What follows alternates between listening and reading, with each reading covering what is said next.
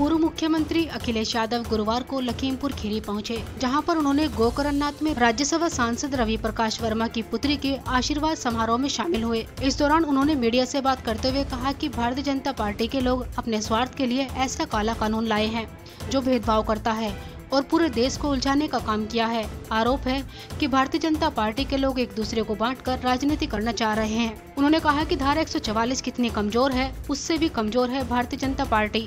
उन्होंने ये भी कहा कि 200 से ज़्यादा विधायक सदन में बैठ गए हैं और 300 से ज़्यादा विधायक सरकार के खिलाफ हैं।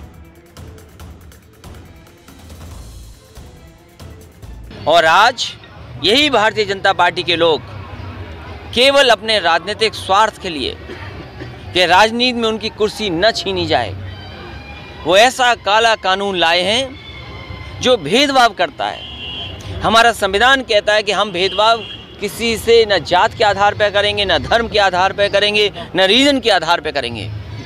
जो हमारी प्रस्तावना थी, उस प्रस्तावना के खिलाफ आज ये सरकार काम कर रही है। पूरे देश को उलझा दिया इन्होंने, पूरे देश में आंदोलन हो रहा है। नॉर्थ ईस्ट के लोग क्या मांग रहे हैं? और हमारे उत्तर भारत के लोग, दक्षिण भारत के लोग, सबको इन्होंने पूरा का पूरा घेर लिया है और पूरा का पूरा बंटवारा कर दिया है।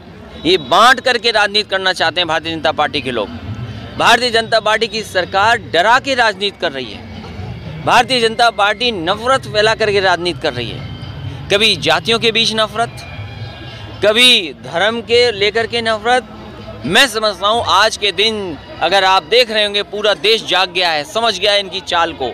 इसलिए पूरा देश सड़कों पर है।